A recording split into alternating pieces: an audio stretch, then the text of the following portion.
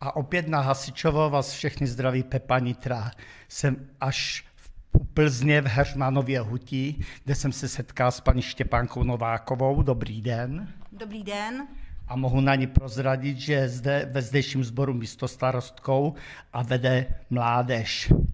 Paní Štěpánko, já jsem se dozvěděl, že váš sbor dělá velice moc akcí. Čím to je? Je to tím, že u nás v Heřmance to prostě žije a máme podporu od obce, která se nás snaží všemožně podporovat. No teď byla asi dlouhá doba, kdy se těm akcím kvůli covidu nedařilo, toho moc nebylo a dělali jste něco i přes tu dobu, nebo...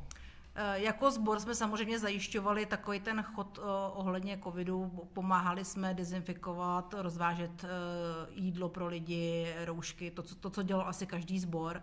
No a jinak se nám strašně moc týskalo, protože jsme nemohli do, do hasičárny a bylo nám po nás smutno, tak jsme se vždycky aspoň online sešli mezi sebou, protože se nám pak po, po, po nás po hasičích stýskalo celou tu dobu.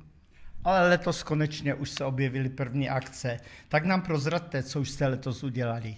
Tak letos jsme měli hlavně náš oblíbený memoriál, který probíhá vždycky na začátku května. To jsou soutěž v požárním útoku e, mužů, žen a hlavně dětí. Na jsme Mohu se zeptat, čí memoriál to je? E, je to memoriál Oty Rubnera a Václava Fischera, což jsou naši bývalí e, členové sboru. Na jejichž počet se tento memoriál pořádá každoročně. A co takový memoriál obsahuje? Kolik týmů přijede na tu soutěž?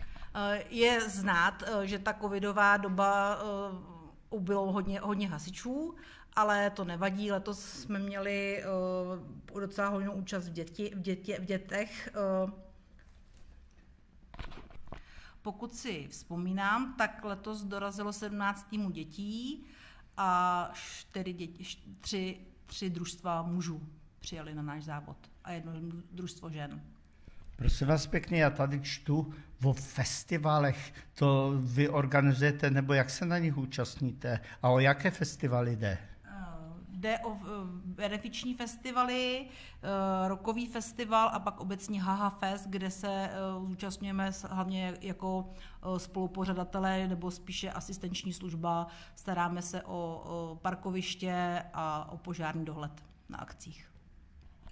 Eh, dobře, takže žijete kulturou, ale zbor žije určitě i svýma povinnostma. Tak jak je to v jednotce? Vy jste kolika ta jednotka? Vy jste, myslím, trojka. My jsme trojky, my jsme JPO 3, takže hlavně důležitý je výcvik celé naší jednotky, eh, kterého se zúčastňujeme, jak v rámci okrsku, tak i kluci si dělají sami, se schází v hasičárně, dělají, dělají si svoje, svoje výcviky a údržbu techniky. No a jak je to ve vztahu k mladým hasičům, když jste vedoucí mladých hasičů? No dětičky nám odrůstají, hodně nám jich taky díky covidu ubylo, ale ty, co zůstávají, tak nám dělají radost, snaží se a už i několik členů malých, mladých hasičů postupuje dál do výjezdové jednotky, takže na to jsme po právu pišní a jsme za to moc rádi. Takže v podstatě všichni vám prošli vašima rukama. ne všichni členové, ale jako eh, většina členů naší výjezdové jednotky prošla rukama některých z vedoucích v minulosti. Určitě ano. Já jsem si taky dozvěděl, že vy máte každoroční výcvikový tábor. Co mi k tomu povíte?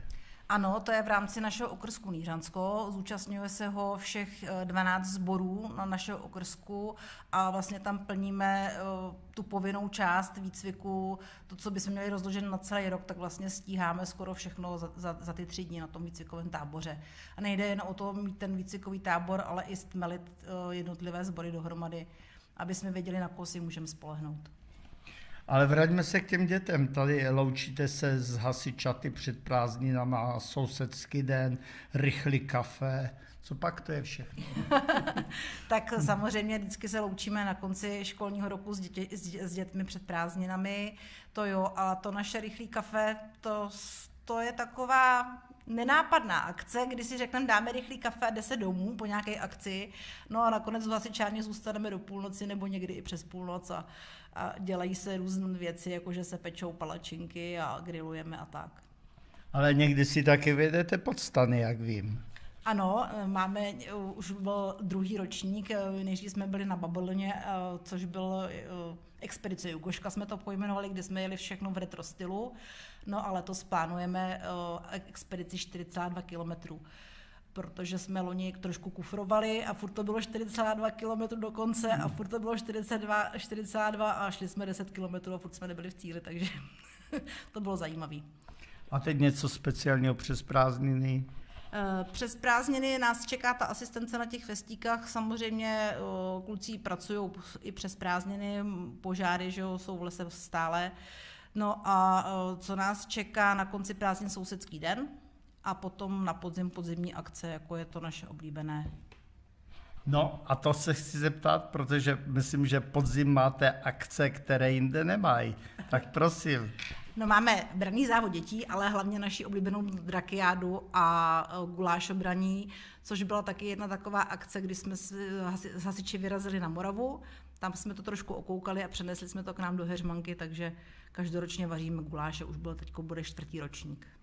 Vy tam máte na Moravě nějaký družební sbor, že tam jezdíte? Ani ne, nám se tam prostě líbí. tak já věřím, že by se líbilo i ostatním, kdyby se přijeli do Heřmanové hutí podívat. Je to nedaleko, přibližte nám, kde to je? Eh, je to na, vlastně na směr na rozvadu z Plzně, je to 100, kilo, 100, 100 kilometr dálnice D5, je to bajvoko tak 20-25 kilometrů od Plzně. Takže určitě se na vás těšíme, přijďte. A máme možnost se někde dozvědět, kde, kde se co děje? Eh, určitě je to na stránkách našeho, naší obce a taky to najdete na Facebooku nebo Instagramu našeho sboru. Tak vám moc krát děkuji, nashledanou. Já také moc děkuji a těšíme se na vás. Mějte se.